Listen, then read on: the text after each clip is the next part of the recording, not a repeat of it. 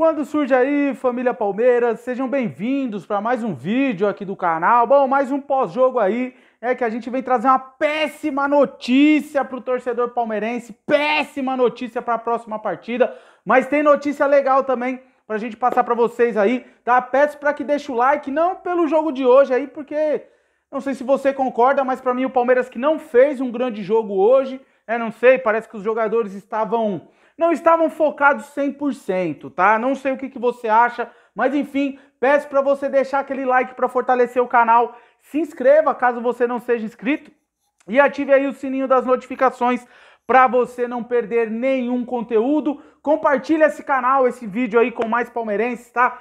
Queremos chegar aí aos 35 mil inscritos, então conto com a ajuda de vocês. Vocês fazem o resenha acontecer, tá certo? Bom, família, eu não sei o que vocês acharam do jogo de hoje, mas para mim o Palmeiras não fez um grande jogo. Não gostei hoje de, de alguns ali individualmente falando. Hoje é, achei o Dudu muito apagado. É, achei o Mike ali hoje também, né? Não estava tão bem ali. Achei o time um pouco é, é, fora de foco, né? Fora de órbita. Não gostei no primeiro tempo. Até anotei para vocês aqui um primeiro tempo do Palmeiras que eu me lembre Teve um chute do Scarpa, que o goleiro fez uma boa defesa. Aliás, parece que o Scarpa, que era o que mais estava tentando, né? Achei o Rony também muito disperso hoje é, da partida, tá? Queria saber a opinião de vocês também, porque é muito importante. Deixa aqui nos comentários, certo? E é o seguinte. O, o Palmeiras que faz um primeiro tempo não tão bom, não gostei do primeiro tempo do Palmeiras. Creio que o Abel deve ter dado um chacoalhão ali no, nos jogadores, né? Não sei se essa diferença também na pontuação faz os jogadores é, não se acomodarem, mas darem uma relaxada, né? Essa diferença aí pro segundo colocado? Não sei.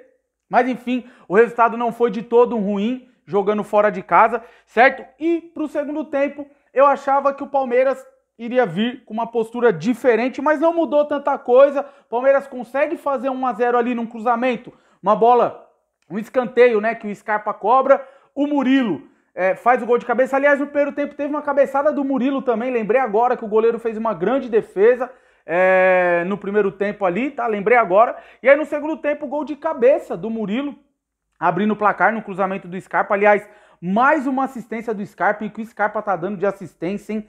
Meu Deus, e pensei ali também, Palmeiras fazendo 1 a 0 achei que o Palmeiras iria aproveitar esse momento é, de vantagem, iria controlar mais o jogo, mas não, não foi isso que aconteceu. O Atlético Goianiense veio para cima com algumas mudanças ali, o meio de campo deles ficou muito dinâmico, é, e numa falha ali de posicionamento do Piquerez com o Dudu, o lateral deles entrou nas costas ali é, do lado esquerdo, cruzou, achei que o Everton, não sei, cara, se ele deveria ter rebatido essa bola. É, mas enfim, rebateu para o meio da área, chegou o Shailon e completou para o fundo do gol e fez o gol de empate aí, né?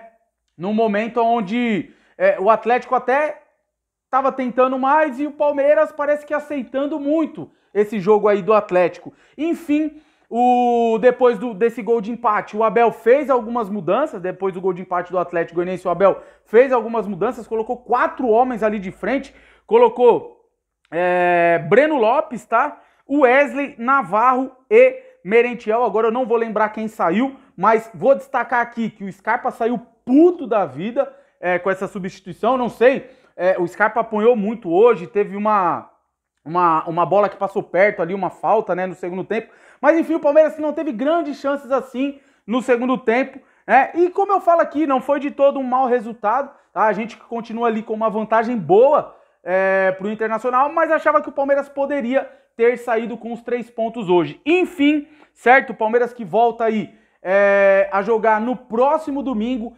Choque Rei, tá? Só um minutinho, rapaziada.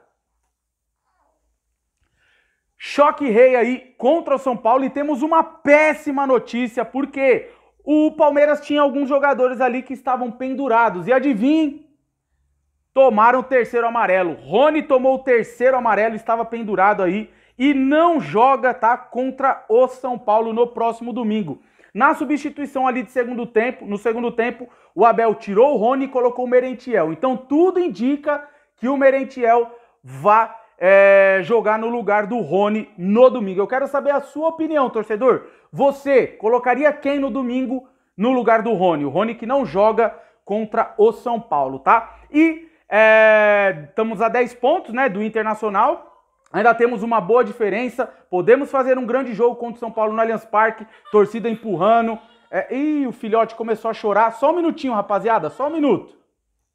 Ô, papaizinho. Ô, papaizinho, topeta, topeta. Bom, vamos terminar aqui rapidinho essas informações aí, tá? Palmeiras que pode fazer um grande jogo aí contra o São Paulo, né? E buscar mais uma vitória aí contra os Tricas e afundar ainda mais eles aí no Campeonato Brasileiro. Então é isso aí, uma boa notícia para finalizar esse vídeo é que o Coldplay que faria o jogo no Allianz Parque, faria o jogo, ó, faria o show no Allianz Parque, faria shows no Allianz Parque no ano que vem, eles fariam esse ano, mas aí cancelaram. Então, os shows que eles iam fazer em 2023 mudaram o local, agora será no Morumbi. Então, uma boa notícia aí, não teremos shows do Coldplay né, no Allianz Parque o, o, os shows dele, os shows deles aí serão no Morumbi, tá certo? Para mim é uma boa notícia aí, uma grande notícia, é. Mas enfim, essa péssima informação aí, o Rony toma o terceiro amarelo e hoje o Palmeiras não fez um grande jogo não, gente. Quero que você deixe a opinião de vocês,